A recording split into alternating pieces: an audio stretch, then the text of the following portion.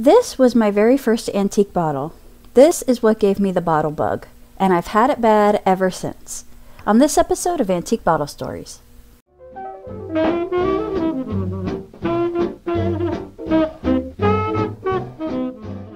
It was the very first time I went to an antique shop. I loved looking at all the antique things the old books, the kitchen utensils, even hairbrushes. I just loved the old relics. Well, once I got looking at the old bottles, I felt the bottle bug bite me, and I've been obsessed ever since. Alright, so let's get started. I started this search with the newspapers. I wanted to see if any newspapers wrote up any articles that could be useful. Well, I did find a bunch of ads for Brown's sarsaparilla. And isn't it weird how it's spelled like sarsaparilla? But I've always heard it pronounced sarsaparilla. The first newspaper article I found for it was in Bangor, Maine in 1883. I don't know how long this product ends up being sold for. Here's another one. But the newspaper ads stop in the late 1880s. They advertise all things that it cures, and many testimonial ads from all the people it helped. Many of the articles, almost all of them, have the name Ara Warren as the proprietor. So I spent many hours researching this Warren guy when an 1885 newspaper article caught my eye, and it says brown sarsaparilla was made from a formula written by the late William H. Brown. So now I had to change courses and go find out about this guy. After all, it is called brown sarsaparilla. So, Dr. William Hammond Brown was born in Maine in 1822. I looked back a little ways in his family tree, and his family had been in America for over 200 years before he was even born. I found his name listed in a yearbook for Bowdoin College in 1841, and he's listed as a junior. He would have been about 19 years old.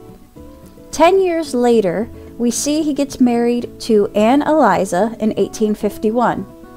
On their marriage record, he's already a practicing physician.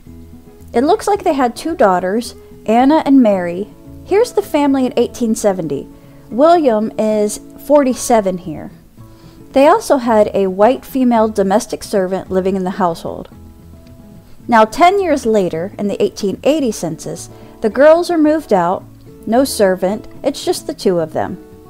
William died two years later in 1882 at age 60. There are no records of his tonic anywhere on Ancestry's records. I don't see anything telling the story about how he came up with the tonic. Since his occupation is always listed as a physician, I'm going to go out on a limb here and I think that maybe he never sold this tonic. Maybe he actually did concoct it, but he just gave it to patients as they needed it. No record ever listed him as a druggist or a chemist or a manufacturer of patent medicines. The following year after he died, in 1883, we start seeing ads for brown sarsaparilla in the newspapers, sold by Ara Warren. Now, Ara Warren was born in 1852 in Maine, so he's 30 years younger than Dr. Brown. By 1873, we see him in the directory in a partnership with a Robinson, an apothecary. So he's about 20 here. We see he stayed partners with Robinson up until the 1877 directory. After that, it's listed as Ara Warren and Company. So Robinson could still be there, it's just that they added another partner or two. So now what I'm wondering is how did Warren get the recipe for brown sarsaparilla? Did Brown sell it to him? Did Warren know Brown personally, just learned it, and then decided to manufacture it after he died? Did he have permission to manufacture it? I guess he must have because he uses Brown's name. I imagine if Warren was just being malicious and greedy, he could have just used his own name. I was just wondering these things because why did Warren wait till one year after Brown died? You know? Warren was in the business for a good 10 years before Brown died. You see what I'm saying? Why is it being sold after he's dead?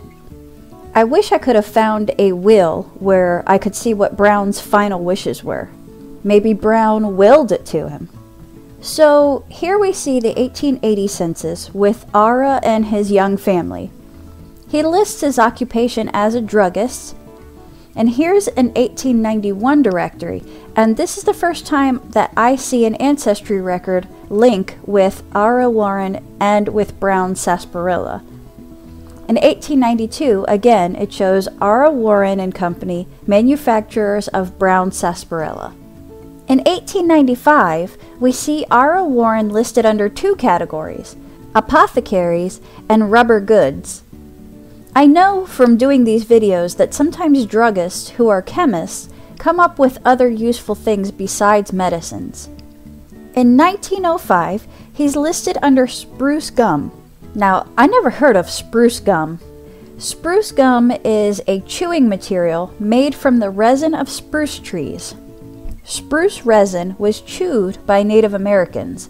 It was also used as an adhesive, and it was used to caulk the seams of canoes. Spruce gum has been used medicinally to heal deep cuts and sores, and for treating coughs and bronchitis. Nowadays, people still chew spruce gum. I actually linked a video on how to make your own spruce chewing gum if anyone's interested. It was actually pretty interesting. I have a spruce tree in my yard, so one day I might give it a try. Anyways, in 1907, he's listed in apothecary, and in 1909, spruce gum again. So he continues both. The last directory he's listed in is 1921 because that's the year that he dies, at age 69. Now, I have to mention this other guy named Frederick Brown, who also made a sarsaparilla in this town 40 years earlier. His tonic was called F. Brown's Sarsaparilla and Tomato Bitters. I tried looking for a photo of a surviving bottle online, but I couldn't find one. The 1840s bottles look much more crude, though, so I'm pretty confident that this is not Frederick Brown's sarsaparilla, that this is William Brown's sarsaparilla. Are these guys related? I don't know. My bottle is a blown tool top. It's a typical sarsaparilla bottle shape. It has sunken panels on all sides, lots of bubbles. It's a beautiful aqua blue. It says brown sarsaparilla on one side and for the kidneys, liver, and blood on the other side.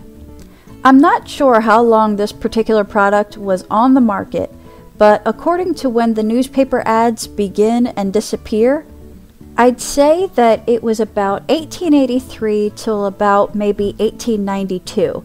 I mean, that's when all the records and ads seem to disappear for brown sarsaparilla.